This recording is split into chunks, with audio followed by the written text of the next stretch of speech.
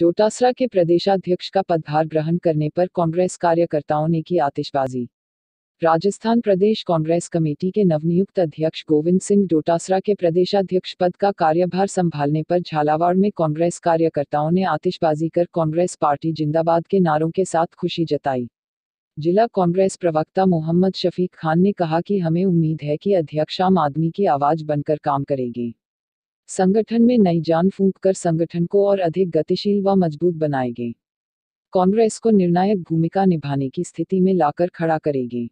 हमें यह भी उम्मीद है कि आपके नेतृत्व में पंचायत एवं निकाय चुनाव में कांग्रेस पार्टी बेहतर प्रदर्शन करेगी।